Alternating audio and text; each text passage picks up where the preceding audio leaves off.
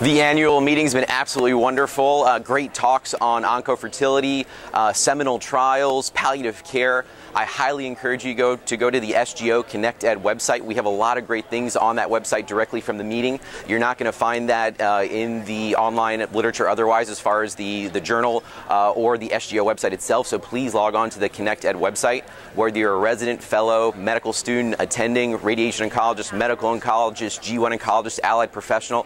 Lots of great stuff on there. We've added a ton of new things, even outside of the annual meeting, including uh, debate hot topics in genetic testing, uh, use of PARP inhibitors. Uh, a wonderful resource. We're really excited about it, and I think you really enjoy it if you log on and check it out.